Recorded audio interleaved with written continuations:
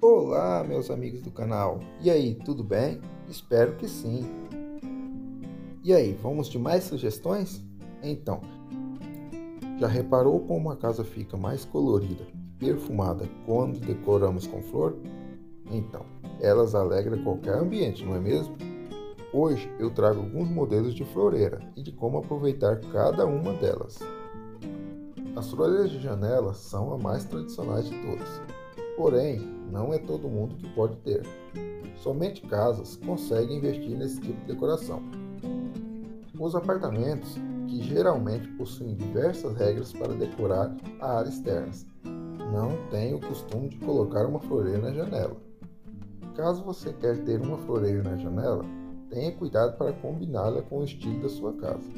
Em fachadas mais rústicas, aposte nas floreiras de madeira. Já uma mais moderna pode ser uma floreira de ferro. Como a janela fica à disposição da chuva e do sol, eu indico que você opte por um suporte para a floreira de ferro, que é mais duradouro ao tempo. As floreiras de pallet é um material mais versátil que existe. Você pode fazer desde móveis estruturados, como piscinas, até mesmo os mais simples, como uma floreira de pallet. Existem diversas maneiras de fazer uma floreira de pallet. A mais simples consiste em manter a estrutura e encaixar os vasos de flor entre as madeiras dela. Também vale lembrar que a floreira de pallets pode compor a decoração da sua casa ou até mesmo de uma festa de casamento rústica. E aí, gostou da ideia? E que tal fazer um aí na sua casa?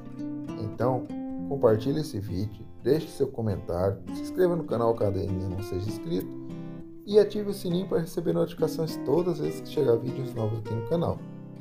Vai curtindo as ideias aí, que com certeza você vai achar uma que vai se encaixar na sua janela.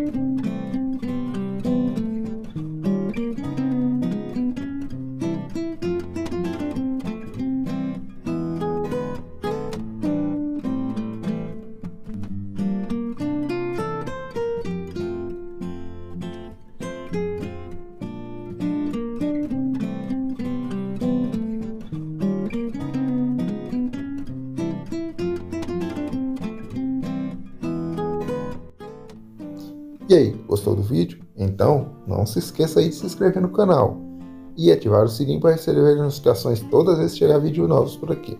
E eu já vou ficando por aqui, te aguardo no próximo vídeo, fiquem todos com Deus e tchau!